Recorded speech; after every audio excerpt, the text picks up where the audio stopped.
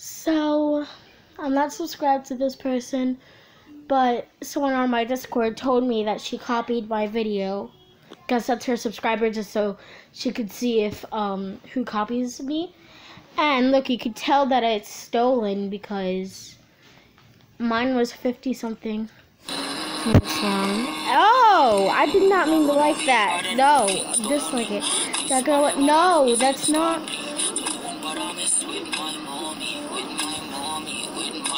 This girl messed up. This messed up. And at the end, I'm not gonna watch the whole thing, but at the end, you could tell.